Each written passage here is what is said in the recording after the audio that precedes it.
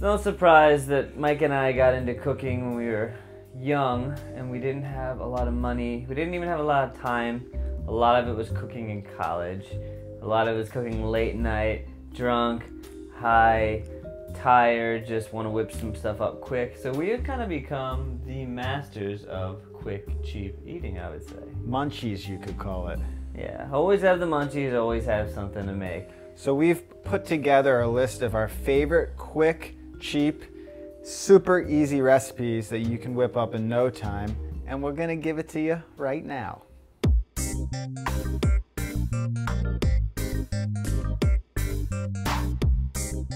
One thing that was crucial in my cooking repertoire back in my college days was my pasta game. I always had some box of pasta lying around. Last Penne, forever. rigatoni, even spaghetti, whatever whatever you have is great. But I would take it and I would boil the noodles first. Usually it's around 12 minutes to cook pasta through. So for half of the time I would boil the noodles plain. 6 minutes. I would cut up a few vegetables, whatever you had lying around in your fridge. Then the second 50% of the cooking time, the second 6 minutes, I would take those vegetables and I would throw them in with the pasta and they're gonna sort of blanch, cook through with the pasta and they're gonna be perfect when they come out. So all of a sudden, 12 minutes later, the pasta's done. You dump everything out into a strainer. Now you have your cooked vegetables and your cooked pasta. Perfect. You pour that back into the same pan you have and then add whatever sauce you have. I love Alfredo. I always had a can of that lying around. So I just add a few little tablespoons of the Alfredo, mix that around, make sure you cook the sauce into the noodle. That's very important. Cook it for another minute. It's gonna finish, everything's gonna come together, and then you can plate it up. I like to sprinkle on a little bit of extra Parmesan cheese on the top. You can hit it with some fresh herbs. All of a sudden, you've taken those leftover vegetables and that box of pasta that you weren't gonna even use, and you turned it into a beautiful gourmet pasta dish that all your friends will enjoy.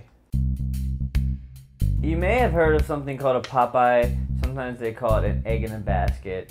Well, I invented something called an egg and a tortilla, and this came because I had a lot of tortillas and a lot of eggs. They both last a long time. Keep them in your fridge, and I wanted to do something creative with them. So all you do is you take a little corn tortilla, take it in half, give it a bite, then you got your little circle in there. Then you throw it in a pan with some oil and you start to fry out one side. Then you flip it over, you fry up the other side. You're getting this tortilla crispy. Once it's nice and crispy, crack an egg in the hole. Hit it with some salt, hit it with a little bit of pepper, you can hit it with some smoked paprika. Then you flip it over, nice and sprinkle cheese all over it and then let it cook more on that side. The tortilla is gonna get crispy like a nacho chip. Take it off, hit it with some sauce, cut into it, eat delicious. It's such a fast, like you can honestly make it in three minutes and you can make a bunch of them real easy. Delicious, perfect, late night, just I'm not your chip, bitch. nacho cheese. Every hungover Saturday, the first thing I would do is make a trip straight to my local campus Qdoba. I would order the quesadilla and enjoy. That just sucked up everything. It seemed to be the perfect hungover food. But then something changed in my life. I realized how easy it was to make quesadillas at home. What I would do is I would just buy a whole thing of flour tortillas. They would last you for about two weeks in your fridge. I would cut up whatever fresh vegetables I had and cook them off. Loved using the Foreman grill. It was a great panini press. That's the great thing about that thing. It works as a goddamn panini press.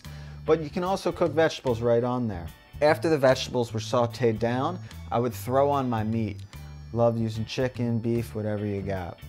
Cook the meat up with your vegetables and then remove all that stuff. Remove it, get it out of there. Get your tortilla back on the Foreman. Get it a little crispy. Add on all of your vegetables and your meats.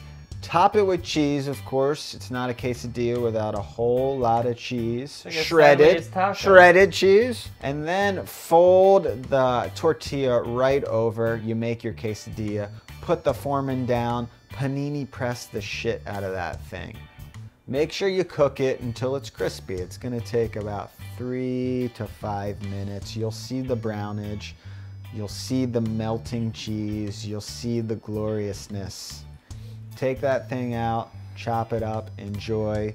You'll never go to Qdoba again. It's a sideways taco. It's a sideways taco. It's a sideways taco. A lot of times when people are cooking leftovers, they think, oh, well, this stuff, it's left over, I'm just going to throw it out. It's old, my bread's stale. That is not always the case. You can take bread that is rock hard, and if you know how to reheat it, you can make it a whole new beast. Meatball, Parmesan, panini is one of the greatest things that you will ever say and think of to eat. So you take the meatballs, you heat those guys up. I like to use the Foreman grill. I use it since I was a little kid. It's easy. It's one setting. It's on. It's off. You don't have to worry about high, cold, medium, this and that. We're professional chefs and we still use the George. Yeah, it was honestly one of the first things I ever cooked on. You heat up those meatballs. You take your bread that's rock hard. You give that a cut. You put the fresh mozzarella cheese on the bread. You put the meatballs on top. The meatballs. You cover it in the sauce, and then you sh- you can just shred or grate or whatever you want to call it, or even sprinkle some sort of Parmesan cheese on top, salt and pepper if you want. Put the top on, put it back on your little Foreman grill, and if you don't have a Foreman grill, you can still do it in a pan. You weigh it down, you saute it on both sides. The point is, when you heat that old stale bread up, you give it some life. It's gonna be delicious, and it's gonna love you for the end of time. And by the time you reopen that again, you're going to have a delicious meatball parmesan. With crispy bread. Crispy bread That's that the important once part. was rock hard and now tastes like the best crispy, almost like garlic bread. Yeah, it You tastes like spaghetti and meatballs in sandwich form. That's all I can say. Spaghetti and the meatballs. So that's very true.